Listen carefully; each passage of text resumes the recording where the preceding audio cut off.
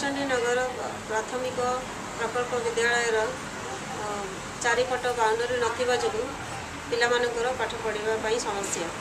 ଆମ ସ୍କୁଲ ଚାରିପଟେ ପାଚେରୀ ନଥିବାରୁ ବାହାର ପିଲା ଆସି ଦି ରୋଳା କରୁଛନ୍ତି ଦି କ୍ରିକେଟ ଖେଳୁଛନ୍ତି କ୍ଲାସ୍ ଆଗରେ ଦି କ୍ରିକେଟ ଖେଳିବା ଦ୍ୱାରା ଦି ପଛପଟ ଦି ଝରକା ପଟେ ଦି ବଲ୍ ପଶି ଆସି ଦି ଆମ ଦେହରେ ବାସୁଛି ଆଉ ଦି ଆଜି ଦି ପଢ଼ିକି କାଲି ଆସିଲା ବେଳକୁ ବାହାର ଲୋକମାନେ ଦି ଆସି କ୍ଲାସ୍ ଆଗ ପଟେ କିମ୍ବା ଦି ଏ, ପଛପଟେ ଦି ଆସି ଝାଡ଼ା ବସି ପଳାଉଛନ୍ତି।